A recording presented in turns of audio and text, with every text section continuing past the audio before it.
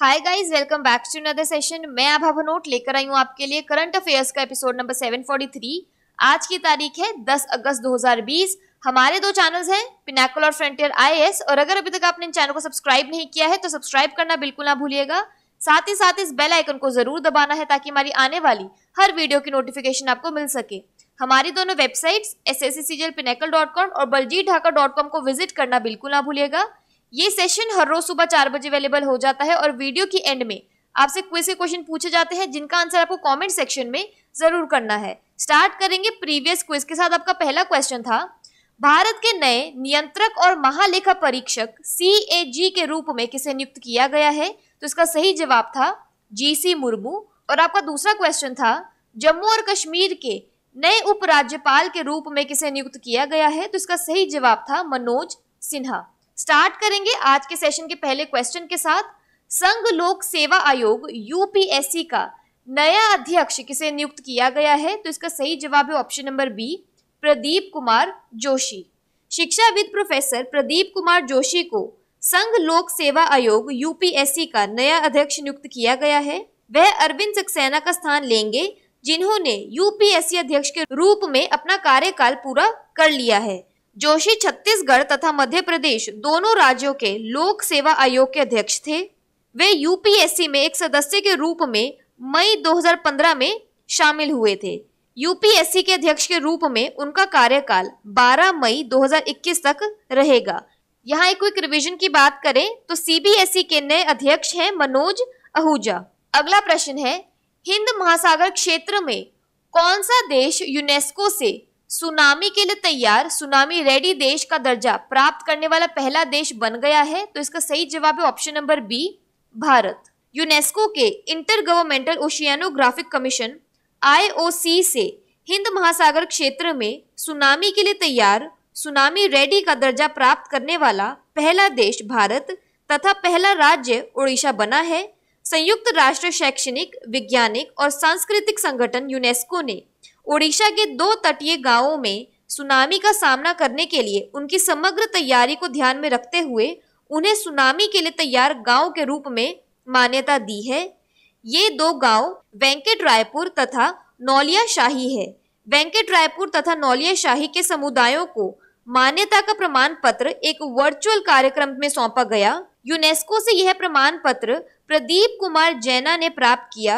जो ओडिशा राज्य आपदा प्रबंधन प्राधिकरण की प्रबंध निदेशक भी है। यहाँ पर एक क्विक रिवीजन की बात करें तो यूनेस्को का मुख्यालय है पेरिस फ्रांस में और इसके महानिदेशक हैं ऑड्रे एजोले बात करें ओडिशा की तो इसके वर्ल्ड हेरिटेज साइट्स में आता है सन टेंपल कुनार्क डैम्स और रिवर्स में आता है हीराकुंड डैम महानदी और Indravati dam Indravati national park में आता है Bhitarkanika national park Similipal national park famous lake में आता है चिलिका लेक ओडिशा की कैपिटल है भुवनेश्वर, गवर्नर है गणेशी लाल और चीफ मिनिस्टर है नवीन पटनायक। अगला प्रश्न है, विश्व के स्वदेशी लोगों का अंतर्राष्ट्रीय दिवस कब मनाया जाता है? तो इसका सही जवाब है ऑप्शन नंबर डी 9 अगस्त। विश्व की स्वदेशी आबादी के अधिकारों की सुरक्षा तथा प्रोत्साहन के उद्देश्य से विश्व के स्वदेशी लोगों का अंतर्राष्ट्रीय दिवस हर वर्ष 9 अगस्त को मनाया जाता है। इस साल की थीम है COVID 19 and indigenous peoples resilience विश्व के स्वदेशी लोगों के अंतर्राष्ट्रीय दिवस की घोषणा संयुक्त राष्ट्र महासभा के द्वारा 23 दिसंबर 1994 को की गई थी। यह तारीख 1982 में मानव अधिकारों की सुरक्षा तथा प्रोत्साहन के लिए उप आयोग की स्वदेशी आबादी पर गठित यूएन कार्य समिति की पहली बैठक के दिन को चिन्हित करती है। यहाँ पर एक क्विक रिवीजन की बात करें तो हिरोशिमा दिवस कब मनाया जाता है? तो इसका सही जवाब है 6 अगस्त और नागासाकी दिवस कब मनाया जाता है? 9 अगस्त। अगला प्रश्न है, पुस्तक raw a history of India covert operations के लेखक कौन है? तो इसका सही जवाब है option number D Yatish Yadav पुस्तक raw a history of India covert operations पत्रकार तथा लेखक यतीश यादव के द्वारा लिखी गई है। यह भारत के लिए विदेशों में कार्य करने वाली खुफिया agency research and analysis wing raw के विषय में है, तथा इस गुप्त संस्था के भीतर वास्तव में क्या होता है, इसकी जानकारी देती है। रॉ के संस्थापक महान जासूस रामेश्वर नाथ काव थे। इसकी स्थापना 1968 में बढ़ती हुई खुफिया आवश्यकताओं, जिन्हें 1962 के भारत चीन सीमा युद्ध तथा 1965 के भारत पाकिस्तान युद्ध के दौरान चिन्हित किया गया था, को संतुष्ट करने के लिए की गई थी। रॉ के प्रमुख है सामंत गोयल। यहाँ पर एक क्विक रिवीजन की बात करें तो विशेष कोड टू विन पुस्तक किसने लिखी है? तो इसका सही जवाब है निरुपमा यादव। अगला प्रश्न है, विद्यालयों में डिजिटल शिक्षा के साधनों को मुहैया करवाने के लिए गूगल इंडिया के साथ साझेदारी करने वाला पहला राज्य कौन बना है? तो इसका सही जवाब है ऑप्शन नंबर डी महाराष्ट्र। राज्य में शिक्षा तथा गूगल क्लासरूम के लिए जी स्वीट का वितरण करवाने हेतु गूगल इंडिया के साथ साझेदारी करने वाला भारत का पहला राज्य महाराष्ट्र बना है। महाराष्ट्र सरकार ने गूगल के साथ साझेदारी की घोषणा की है, जो शिक्षा के कार्यक्रम प्रदान करेगा तथा क्लासरूम के दृष्टिकोण को ऑनलाइन शिक्षा से जोड़ेगा। कोविड 19 महामारी के कारण ऑनलाइन कक्षाएँ अब आम बात हो गई है। सुदूर शिक्षा को आसान बनाने के लिए Google G suite for education Google classroom तथा गूगल मीट जैसे साधनों का प्रयोग करेगा। इसके कारण 2.3 करोड़ छात्रों तथा शिक्षकों की तकनीक से मिश्रित शिक्षा कार्यक्रमों तक पहुँच बनेगी, जिसमें कक्षा की शिक्षा को ऑनलाइन शिक्षा से जोड़ा जाएगा।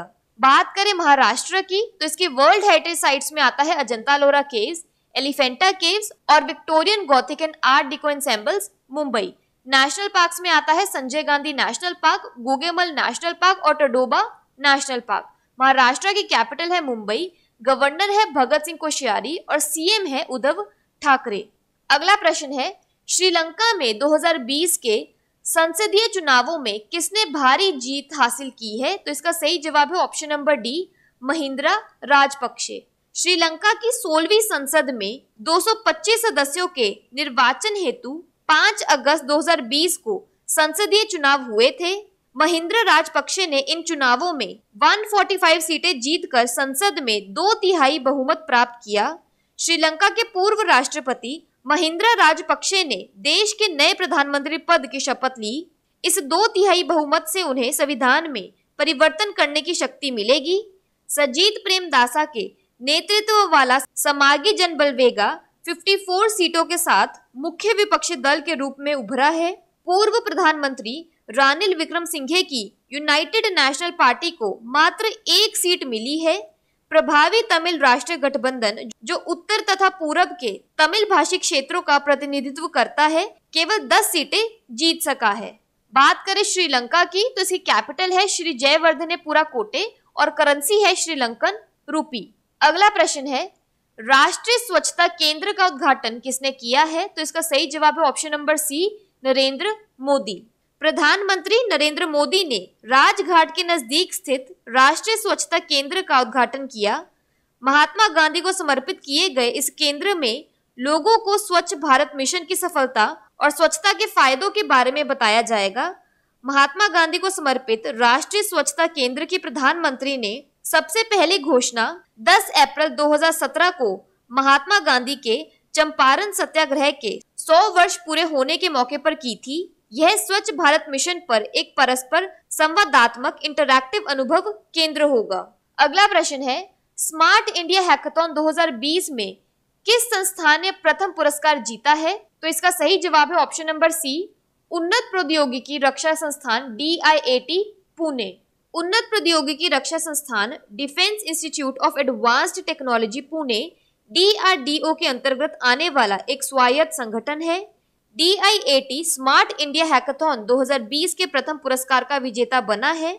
टीम को एआई का उपयोग करके चेहरे, अभिव्यक्ति और हाव भाव पहचान के लिए मध्य प्रदेश सरकार को दृष्टि नामक समाधान प्रदान करने के लिए पुरस्कार दिया गया है। डी एक डीम्ड यूनिवर्सिटी है, जो रक्षा अनुसंधान तथा विकास मंत्रालय के अंतर्गत आता है। स्मार्ट इंडिया हैकाथन 2020 सॉफ्टवेयर संस्करण के लिए 36 घंटे तक लगातार चलने वाली उत्पाद निर्माण प्रतिस्पर्धा है, जिसका आयोजन मानव संसाधन विकास मंत्रालय तथा अखिल भारतीय तकनीकी शिक्षा परिषद के द्वारा संयुक्त रूप से किया जाता है। अगला प्रश्न है, बीसवे न्यूयॉर्क भारतीय फ़िल्म महोत्सव में किस फ़िल्म डॉक्यूमेंट्री ने पुरस्कार जीता है? तो इसका सही जवाब है ऑप्शन नंबर डी ए और बी दोनों, यानी सनराइज और मूथन मलयालम फ़िल्म मूथन तथा राष्ट्रीय पुरस्कार विजेता डॉक्यूमेंट्री सनराइज ने भारतीय अमेरिकी कला परिषद के द्वारा आयोजित 20वें न्यूयॉर्क भारतीय फ़िल्म महोत्सव में पुरस्कार जीते हैं। इस महोत्सव का आयोजन एक वर्चुअल कार्यक्रम के रूप में किया गया था, जिसमें भारतीय फ़िल्म उद्योग की हस्तियाँ तथा पूरे भारत और अमेरिका से भाग लेने वाले पुरस्कार विजेता शामिल हुए थे। बीसवें N Y I F F के वर्चुअल संस्करण में भारत की 45 कहानियों, लघु फ़िल्मों तथा डॉक्यूमेंट्री का प्रदर्शन किया गया था। अगला प्रश्न है, किस भारतीय क्रिकेटर को विन ट्रेड फैंटेसी स्पोर्ट्स का वैश्विक ब्रांड एम्बेसडर नियुक्त किया गया है? तो इसका सही जवाब है ऑप्शन नंबर डी दोनों ए और बी यानी सुरेश रैना और हरमनप्रीत कौर। भारत के मध्य क्रम बल्लेबाज सुरेश रैना तथा भारतीय महिला टीम की कप्तान हरमनप्रीत कौर को विन ट्रेड फैंटेसी स्पोर्ट्स का वैश्विक ब्रांड एम्बेसडर नियुक्त किया गया है। सुरेश रैना इस ब्रांड से रणनीतिक साझेदारी के रूप में भी जुड़े हैं। विन ट्रेड फैंटेसी स्पोर्ट्स एक काल्पनिक खेल मंच है, जिसकी भारत तथा दुनिया के अन्य हिस्सों में औपचारिक शुरुआत 6 अगस्त 2020 को की गई थी। उपयोगकर्ता आगामी मैचों से वास्तविक खिलाड़ियों को लेकर अपनी खुद की टीम बना सकते हैं तथा उनके द्वारा मैदान पर किए गए प्रदर्शन के आधार पर पॉइंट प्राप्त करके अन्य प्रशंसकों के साथ प्रतिस्पर्धा कर सकते हैं। वर्तमान में इस ऐप पर काल्पनिक क्रिकेट, फुटबॉल तथा बास्केटबॉल है। यह उपयोगकर्ताओं को रणनीति बनाने तथा अपने खेल ज्ञान का प्रयोग करके पुरस्कार प्राप्त करने का अवसर देता है। यहाँ पर एक क्विक रिवीजन की बात करें तो भारत ने 2021 के टी ट्वेंटी विश्व कप के आयोजन का अधिकार बरकरार रखा है, जबकि 2022 में इस वर्ष स्थगित कर दिए गए संस्करण का आयोजन ऑस्ट्रेलिया में किया जाएगा। बात कर लेते हैं आज के सेशन की एक क्विक समरी की। यूपीएससी के नए चेयरमैन कौन बने हैं? प्रदीप कुमार जोशी। यूनेस्को द्वारा किस देश को सुनामी रेडी घोषित किया गया है? इंडिया को। International day of world's indigenous people कब मनाया गया है? अगस्त 9 को। Raw a history of India covid operation book किसने लिखी है? यातिश यादव ने। किस राज्य ने गूगल इंडिया के साथ digital education tools in schools के लिए साझेदारी की है? महाराष्ट्र ने। श्रीलंका में 2020 पार्लियामेंट्री इलेक्शन में कौन जीते हैं? महिंद्रा राजपक्षे। राष्ट्रीय स्वच्छता केंद्र का उद्घाटन किसने किया है? नरेंद्र मोदी ने। स्मार्ट इंडिया हैकाथन में फ़र्स्ट प्राइज किसने जीता है? डी पुणे ने। Twenty New York Indian film festival में फ़र्स्ट प्राइज किसे मिला है? मूथन और सनराइज को। विन ट्रेड फैंटेसी स्पोर्ट्स के ग्लोबल ब्रांड एम्बेसडर्स कौन बने हैं? सुरेश रैना और हरमनप्रीत कौर।